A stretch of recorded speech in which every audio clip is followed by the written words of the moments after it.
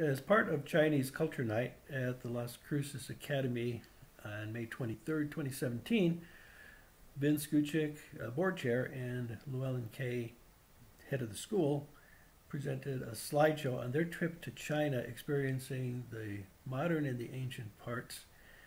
They met their son, uh, David, and his then girlfriend, now wife, E, at the airport in Beijing where they had flown in. Uh, and together we toured China, met her family. Let's start. Okay, here is modern Beijing. Uh, it's just over the mountains. You'll see all kinds of mixed development here. You'll see private housing, uh, factories, fields, and so on. Oops. There we are. There's and David. We're at the Lu Songyuan Hotel on the Silk Road Hotel. They are getting ready uh, for E to go to the U.S. Embassy to renew her visa to study in the U.S. at Ohio State University in engineering. This is a wonderful place, great breakfasts.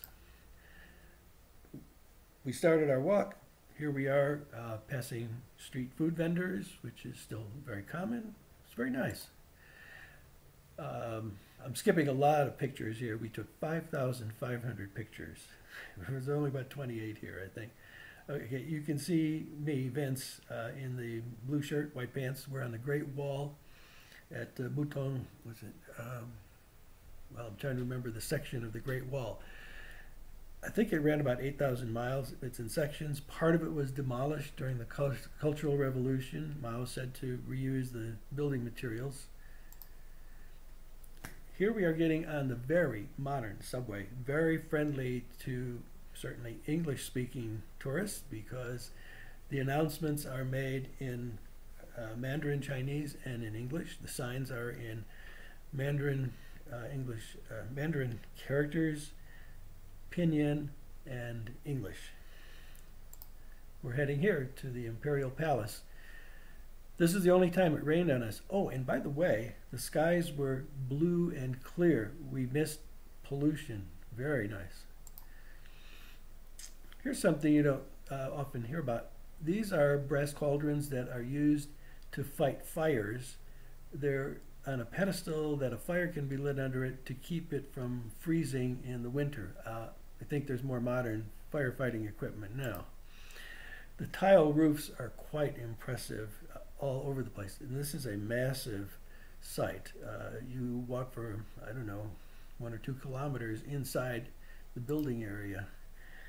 There are 27 gift shops inside the uh, Imperial Palace.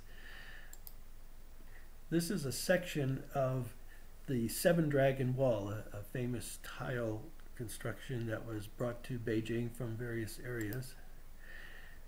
Bronze bells are very popular throughout history in China.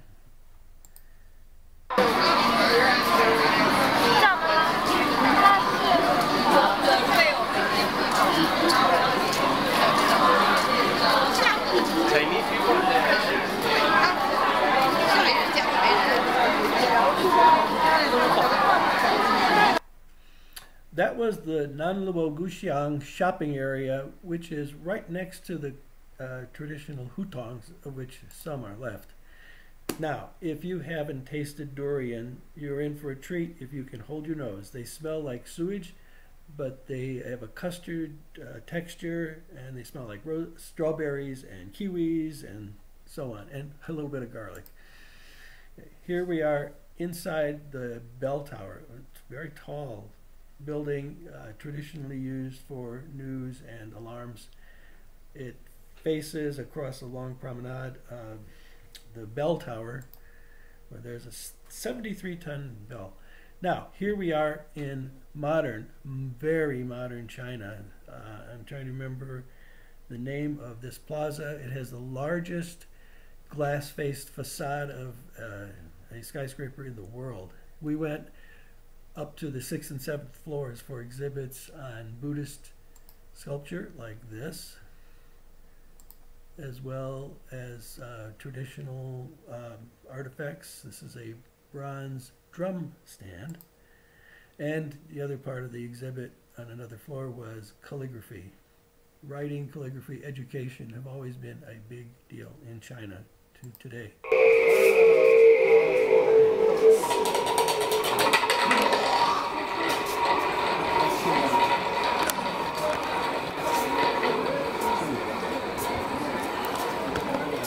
Was this weighted in cup? I That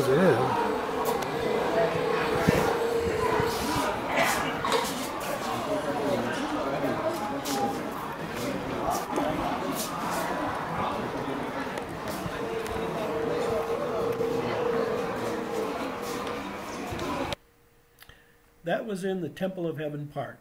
Uh, he's not a performer for money. He's just having fun, as are many other people who are playing games, talking, playing music. People enjoying their time. Okay, now we are on the first of the high-speed trains that we took. This train from Beijing to Zhengzhou, uh, which is the capital of the province that he is from, Henan. Uh, this train hit 303 kilometers per hour routinely. That's 190 miles per hour, and it is smooth as silk. It outdoes even the Shinkansen in Japan. Here we are in Henan, and uh, it may surprise some people to know that northern China uh, has wheat as its major crop, not rice. They, they do eat rice, but this was the harvest season, and every field was just packed with uh, wheat. Ah, okay. To the right here is Yi's father, and in the middle is his business associate, who was uh, also the driver.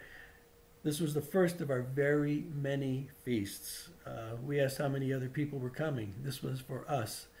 Uh, food as a, a means of hospitality is foremost. We got to Yi's parents' house. Uh, at let's see, third from the left is her mother, and Lou Ellen and I are wearing these beautiful silk jackets that they gave us. Two of the family friends gave us this elaborate embroidered scroll, which we treasure. It's now mounted on our wall at home. We traveled around her hometown of Dancheng. Here she is in front of her I think it's primary school. By the way, she ended up as the top student in her province of 97 million. She's not only beautiful, but smart and cheerful and kind. in the town market, this woman uh, was very amused at, at seeing us. Uh, she said, Foreigners, buy my chicken. I want a foreigner to buy my chicken. Of course, this was translated for us. Chinese uh, tourists now dominate the whole scene because they now have money. We were vastly in the minority as uh, foreign tourists, which is fine with us. Her family uh, was almost apologetic, saying we have to do this ancestor ceremony. Uh, we were so pleased to be included in it. The grandfather of E is buried just to the left of this scene uh, in a mound in the field. So they uh, have to do this um, obeisance. There's another mound from another family in the middle there. And um, the government is discouraging all of this because it takes up valuable space. Each family has a narrow strip. I think it's only about uh, 20 meters wide, so they can't afford to use too much space. Here's another feast given by uh, Yi's uncle, I made the mistake when they asked you like wine of not specifying red wine because ordinary uh, wine, as they call it, is this 53% alcohol premium drink. The Chinese love to have everybody get drunk together. It shows trust. Well, I don't like being drunk, so I had to skip that part. We went out in the evening. Here's Yi's mother in the public park there uh, many women, especially, will go out morning and evening and dance to a boombox of modern tunes. Her family took us to many places uh, in the area. This is, I believe, the Fuxi Mausoleum. Uh, it's another very long uh, site with many gates. At night, everybody in Dancheng gathers outside. Certainly uh, on these summer evenings, it's it's packed. It's it's a lot of fun. We went to Shaolin Temple, a famous site. Most of it is a reconstruction. This is a guardian figure, another common thing in Chinese culture. And this is more modern uh, in the sense of having a big school for martial arts. Many families will send their, their sons and some daughters to learn martial arts, often if the children are hard to control. Um, they're aiming for maybe one or two slots in the movies, so this is sort of like high school football in the U.S. You're one chance in 10,000. We went to the Longmen Caves, where there are thousands of carvings of Buddha. This is the very largest one, the Lokana Buddha. It's, I believe, about eight meters high. In Luoyang, we uh, stayed in a hotel that David and E had found online, the Friendship Guest House. What a palace for $50 a night. Uh, the room for, let's say, Lou Ellen and myself uh, was about as big as our house with three showers, two bathtubs, a computer, a TV, free food in the minibar, a mahjong table, a glorious view over the city, free breakfast, and when we went to breakfast, um, one of the servers came and saw that Lou Ellen and I were older, so she asked E if we needed special food, we might be diabetic or hypertensive. It's very, very nice. This is our view from the 21st floor looking down on the people doing Tai Chi in the uh, little park below us. Well, big park. Then we went to the Luoyang Museum. Um, interestingly, his family said we had introduced them to their own civilization uh, because they didn't go to museums. And look again at the accommodation for foreigners. This is a complete translation of the site in English.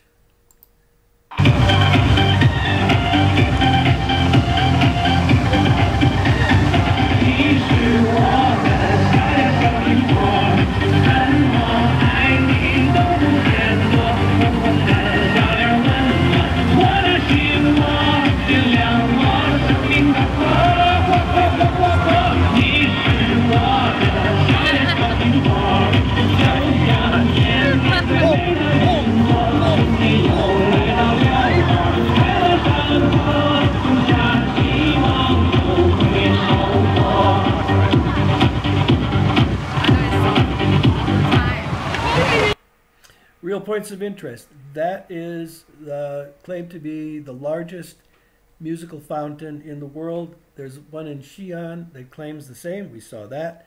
Uh, the music is uh, Little Apple by the Chopstick Brothers, International Song of the Year in 2014. And as a scientist, I'm intrigued by the powerful green lasers because I know how tricky they are to, to make. Okay, this is what one of their high-speed trains looks like. We took another one here to Xi'an, and we arrived um, yeah, mid-afternoon. In evening, everybody gathers around the beautiful and well-lit uh, bell tower. People are talking, playing music, um, selling things, selling food, and just having fun. Now, in China, when we were with friends or relatives of E, we could not buy anything. These two are students uh, whom David and E knew at Ohio State. They took us out for dinner. This is in one of the super modern shopping malls. And of course, one has to go to see the Terracotta Warriors in Xi'an. There are 2,000 that have been reconstructed. And I say reconstructed because when they were buried 2,000 years ago, the uh, overburden probably was meant to collapse and uh, you know, keep everything safe. Farmers found some remnants, and soon it was discovered that there were these thousands of very realistic terracotta figures, about life size. There are about 8,000 total. Um, they are slowly piecing together all of the remnants. Uh, it's pretty classic. That's what they look like when they were put in the uh, burial ground. They found traces of the paint that was there originally in various, yeah, various figures. So they figured out what they had been painted as. Ah, this is the mother of a student whom David and E had again at Ohio State. She took us to this fabulous restaurant and uh, bought us a meal where everything was done in the Qin dynasty style. And very dramatic introductions of each dish. At the end, they dressed us in the robes of people, well, officials in the Qin dynasty. Okay, then we flew to um, well, we flew to Guilin. And from Guilin, we took a taxi, oh, maybe 100 kilometers or so, to Yangshuo, which is famous for the karst peaks. Actually, they extend for a vast area. Lou Ellen had her first fresh coconut there. It's quite a gathering place. Uh, in the evening, people are doing everything. There's shops of every kind. There are people selling these green lasers. There's people selling uh, very interesting model airplanes, radio controlled. And here are the karst peaks on the Li River. There's also a show, a famous show here, uh, organized by the guy who did the Olympic ceremony in 2008. But it, uh, the river was too high for the boats to go through, so we just toured around. We, we enjoyed biking here. In the uh, evening, you'll find uh, a bit of nostalgia here. This woman is dressed as one of the Red Guards. She's selling popsicles, which are one of the few um, luxuries that were available during that time.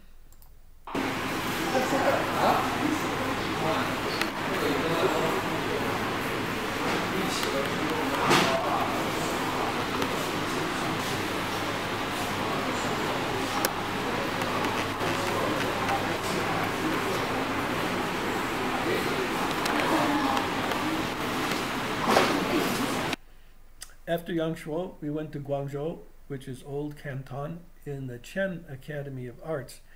There were practicing artists. This fellow paints with the side of his hand and fingernails to create beautiful paintings.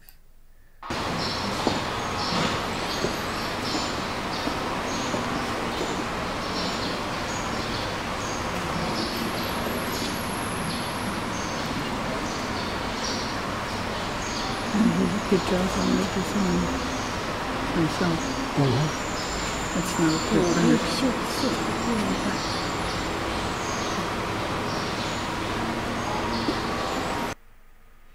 This artist makes his own drawings, exquisite, and then will layer about 20 sheets of paper and cut out the designs. Um, they're very, very finely done.